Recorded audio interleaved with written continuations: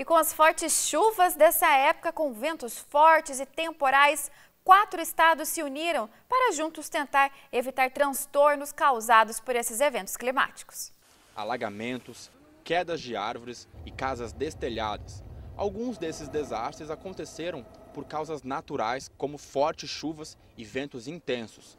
Os governos do Paraná, São Paulo, Santa Catarina e Rio de Janeiro firmaram um acordo para trabalharem juntos na prevenção e enfrentamento dos acidentes. Na prática, as ações começam no CIMEPAR, que monitora as áreas que podem ser atingidas. O CIMEPAR desenvolveu um software de, de comunicação chamado Centro Virtual, no qual a gente integra os diferentes centros operacionais. Em determinado horário, então, todos, como se fosse uma videoconferência, todos acabam fazendo é, essa, essa integração e essa troca de informação meteorológica para que os alertas sejam comuns às três regiões ou quatro regiões, quem estiver envolvido.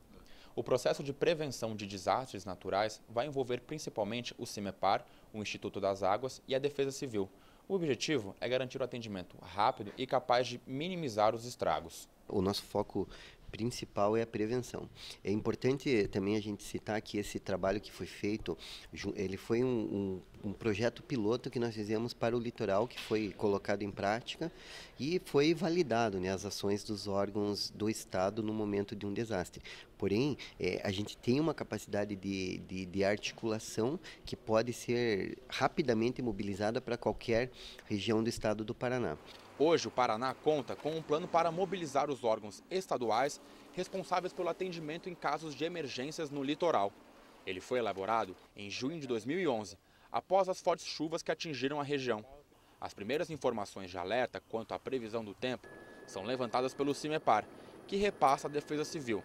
Ela então vai reunir os técnicos envolvidos para coordenar quais ações precisam ser tomadas. Esse plano ele contempla, na verdade, 28 ações, então de diversos órgãos estaduais, que vão é, desde o monitoramento, na, na, resposta, no transporte de pessoas, seja por meio aéreo, por meio terrestre, na dragagem de canais, na abertura é, de, de estradas que foram interditadas, na reconstrução de pontes, no apoio humanitário, na montagem de abrigos. Com a chegada do verão, a população e a intensidade das chuvas aumentam no litoral.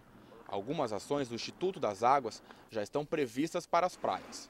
Participar do processo de monitoramento hidrológico, é, atuar na limpeza pública dos municípios litorâneos, principalmente os municípios balneares, ali Pontal do Paraná, Matinhos e Guaratuba, e também atuar muito fortemente na limpeza dos canais de macro drenagem. Todo esse trabalho é feito por nós, além também da limpeza da areia das praias, para fazer com que o pessoal também possa ter mais conforto na hora de acessar o seu banho.